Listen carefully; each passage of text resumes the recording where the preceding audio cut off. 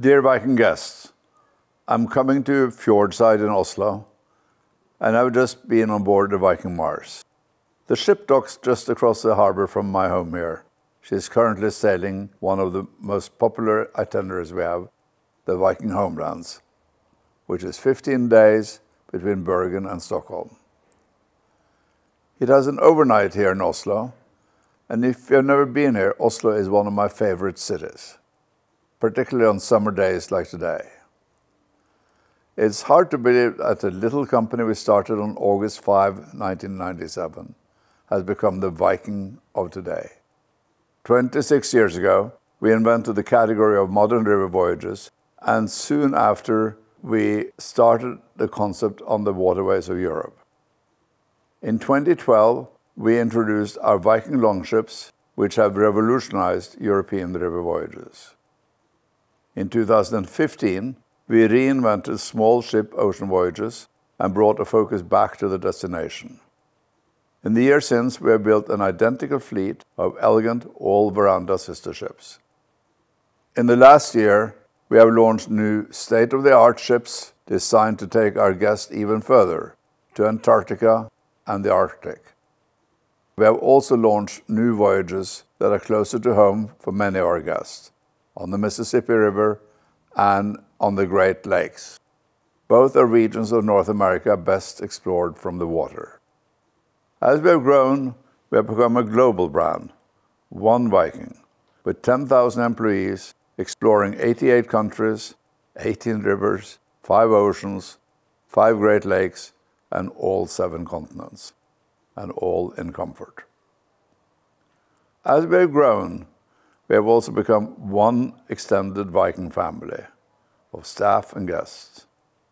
More than 80% of our crew are retained each year, a rate that is the highest in the industry by far, and a source of great pride.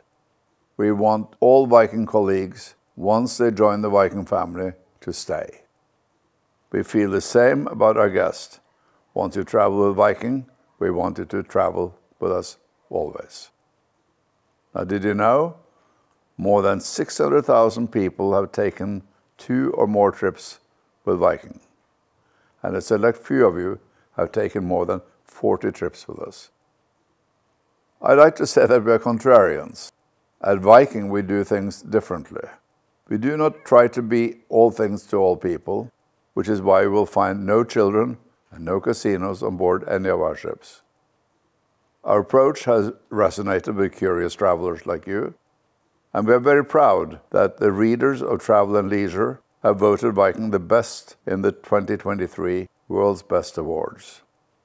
Not only have we been named the number one ocean line once again, but our expedition voyages have also been named number one in the first year of operations. And once again, we are a world's best river line. On top of that, Viking is also rated at the top for the rivers, oceans, and expeditions by Condé Nast Traveler. No other cruise line have ever received the same honors by both these publications at the same time. We are very proud of everything that we have accomplished in the last 26 years. But as I said, we do things a bit differently at Viking, which is why we're always searching for better. In the years to come, we will continue to expand our river fleet, building new ships on the rivers of Europe, Egypt, and beyond. We will also welcome more new identical ocean ships. And of course, we'll work even harder to continue delivering meaningful experiences for curious travelers. In that spirit, on behalf of the entire Viking family, I invite you to travel with us again. Whether you have sailed with us one time or many times, there will always be more of the world to explore, new journeys to embark upon, new memories to make. And now is an ideal time to plan for future travel. If you have sailed with us on the rivers, perhaps you would be interested in a thoughtfully planned ocean or expedition voyage.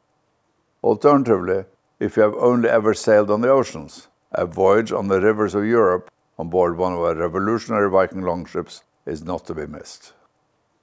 We still have space in 2024, and 2025 days are now open, with even more choices available. So I thank you for your time, and for your interest in Viking. We hope to welcome you on board again soon. Onwards.